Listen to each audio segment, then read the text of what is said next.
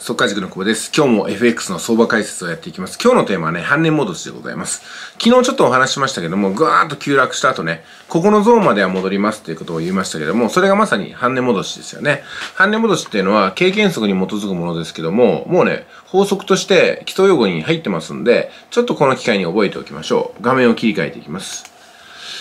はい、これが現在のチャート、10月23日5時38分のチャートになってますけども、え前回の放送で申し上げたのはですね、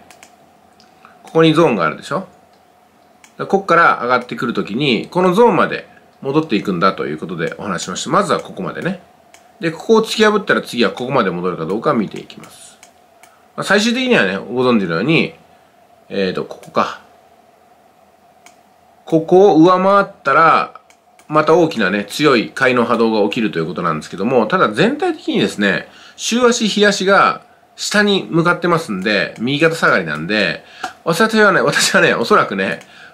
この辺り、この辺りで、少なくともここでですね、もう週足の方向に行くと思いますよ。まあですんで、瞬間的なこの買いだけはね、半値戻しだけは取っておきたいなっていうことで今回の考察になりますけども、まさにこの大きな下落が起きた後ねこの大きな下落がズダーンと起きたじゃないですかここを起点にしてその半値戻しというとまさにこの辺りでしょ。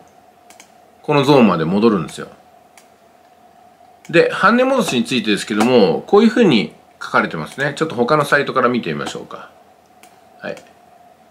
えー、半値戻し。一般的には相場は下落した後、下落分に対して3分の1、2分の1、3分の2あたりまで上昇するという経験法則があります。半年戻しはその2分の1を示していますということなんですけども、まさにこれでしょ。今回の。半値戻しじゃないですか、これ。はい。だから半値戻しってのを知っていれば、まあ知らなくてもね、ゾーンってものが分かれば、この半分は取っていけると思うんですよ。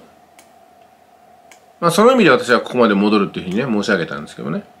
うん。まあ、跳ね戻すという言葉は今回使うのが初めてです。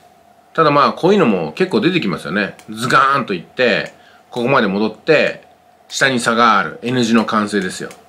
ね。ネックラインがここ。転換点がここ。うん。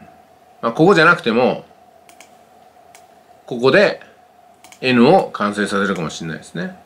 ここにもゾーンがあるわけですから。ここから始まったゾーンですよ。で、ここにも符合してますから、結構強いゾーンですね、これっていうのは。うん。はい。ということでね、今回も半値戻しについてお話ししましたけども、半値戻しにつきましては、このゾーンっていう概念が分かってれば、ここまで戻ったら半値戻しでしょっていうふうになります。全戻しっていうのもありますけどもね。全戻しっていうのは、あ他の時間軸、だから週足とか日足が買いに入ってる時はありますけども、まあ今回はね、半値戻しってとこだと思います。うん、今週の最後のね、私の相場解説としましては、半値戻しで利確して、そこからは私はセルにかけていくってことですよね。まあ10月はね、どうなることかと思いました、思いましたけども、まあなんとか利益を確保したまま終われそうかなと思っております。まだわかんないですけどもね、まだありますんで、26から始まる週が、まだ5日間ありますんでね、まあここで、トータルで10万円ぐらいは取っておきたいなと。まあそうするとね、20万円前後の勝ちで今回も収められるかなってところですけども、結局ね、今年もね、100万円を150万にするような毎月送りたいと思ってたんですけども、なんないですね。うん、20万から30万の間の利確が毎月続くだけで、まあ突発的なね、大きな利益っていうのはありましたけども、うん、まあまあでも、今月で1000万クリアして1000万をまた切るような状況がちょっと来ましたけども、また1000万台に復活かなと。今年の利益はね。で、11月、12月で、まあ、1000万を維持しながら、しかも、萎縮しないようにね、1000万を守ることが重要課題ではないですから。うん、やっぱ今までのテクニカルを信じてやっていくだけかなと思います。で、12月はね、うん、もう中盤を過ぎたら大きな変動がないという風なのが私の FX 人生、この4年の経験ですから、もう12月の前半までしか勝負ができないかなと思うと、あと賞味 6, 6週間ですね。勝負ができるのも。うん、長い長い FX の2020年が明けたと思ったんですけども、あとたった6週間で終わりですよ、今年も。